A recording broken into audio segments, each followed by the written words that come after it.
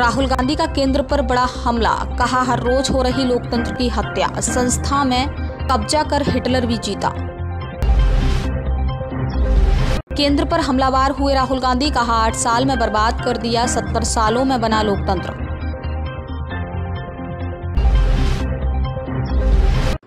कोट्टायम ज़िले के कई इलाकों में भारी बारिश के कारण जल भराव सरकारी संक्रमण लो, लोगों को लेकर दी चेतावनी। सांसद नवनीत राणा और उसके पति विधायक रवि राणा को अदालत ने लगाई फटकार। इस द्रोह से जुड़ा है मामला। आज़ादी का अमृत महोत्सव अभियान के तहत ए एस आई सौ पचास स्मारकों पर लहराएगा तिरंगा। वाराणसी में बोले मुख्यमंत्री, पुलिस की छवि और सुधारने की गुंजाइश। हर हाल में अवैध वसूली हो बंद।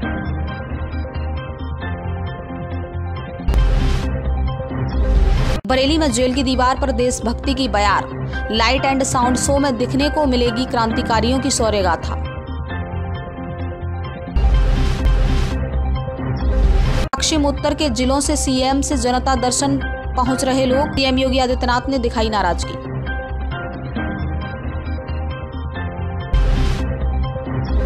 सपा ने नगरीय निकाय चुनाव के लिए बनाए पर्यवेक्षण, सौंपी गई सत्रह नगर निगम की ज़िम्मेदारी।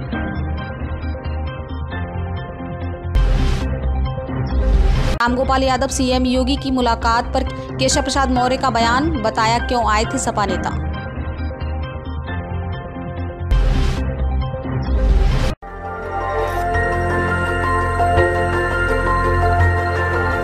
देखते रहिए डीवी भारती समाचार, नज़र हर खबर पर।